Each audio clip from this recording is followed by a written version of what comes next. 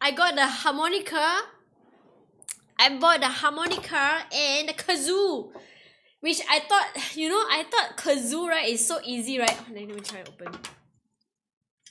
I thought kazoo is easy to play, right? But it's not. I mean, like, it's not, you just, it doesn't mean that you just blow on it, you know. You have to hum on it, like. You see, I try to blow it. Nothing coming out.